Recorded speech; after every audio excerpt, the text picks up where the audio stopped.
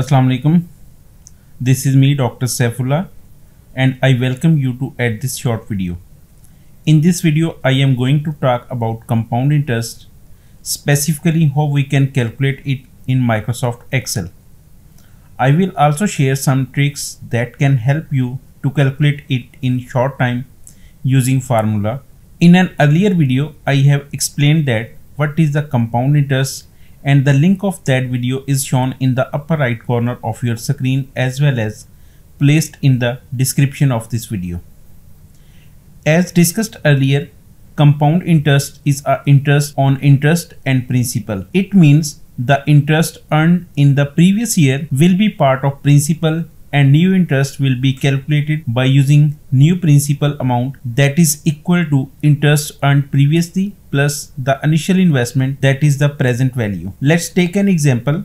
For example, you have invested $100 at 5% compound interest rate. We have to calculate interest and the principal for year 1, year 2, year 3 and year 10. If we have to calculate the interest and the principal value, for the first year, there will be no difference as compared to principal interest. We will simply multiply principal into interest to calculate the amount of interest that we have already discussed. After that, addition is the beginning amount and beginning amount is the starting amount that we have in our account and the total amount at the end of year will be interest plus the principal in the next years the interest will be calculated on this revised principal that is 105 and in next year interest will be calculated 105 dollar into 5% now the new interest is calculated on the pre basic principal plus the added interest that we have earned previous year. And the next year interest will be 5.25 and after that the principal amount will be 5.25 plus 105 that is 110.25 in the third year again we will use this revised principal and calculate interest 110 into 5% and the total amount is 115.76. In finance, we have studied a formula to calculate the future value of the compound interest that is equal to present value into 1 plus i raised to power n that is number of years. We can also use this formula to calculate the total amount at the end of the year. For example, for the first year, if we calculate the principal amount that is the present value into 1 plus interest that is 5% and raised to power n that is the number of years.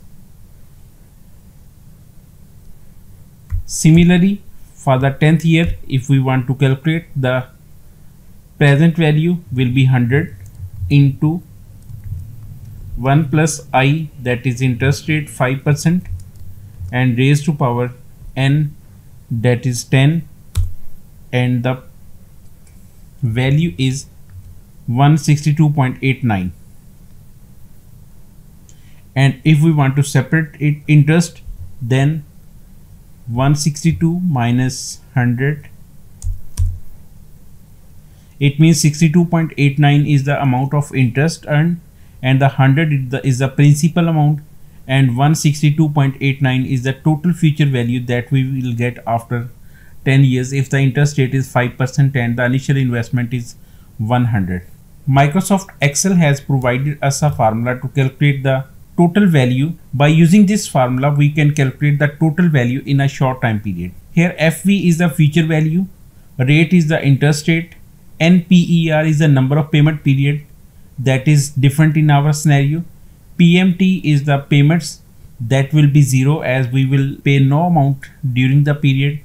And PV is the present value and type is the whether the investment is at the end of the period or at the start of the period we will ignore this at this time. Simply FV rate 5% number of payment periods 1 and PMT payment that is 0 and the present value is 100 but we have to place a negative sign before the future value to bring this answer in a, to a positive form. And the 105 will be the total value after one years. And similarly if we calculate this amount for the 10th years minus FV bracket start rate 5% NPR number of payment period that is 10 PMT 0 and the present value is 100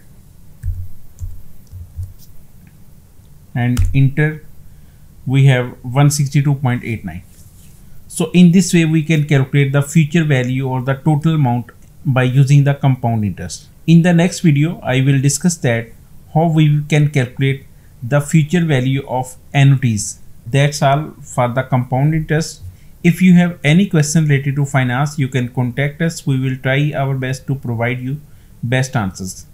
Thank you. Take care. Allah hafiz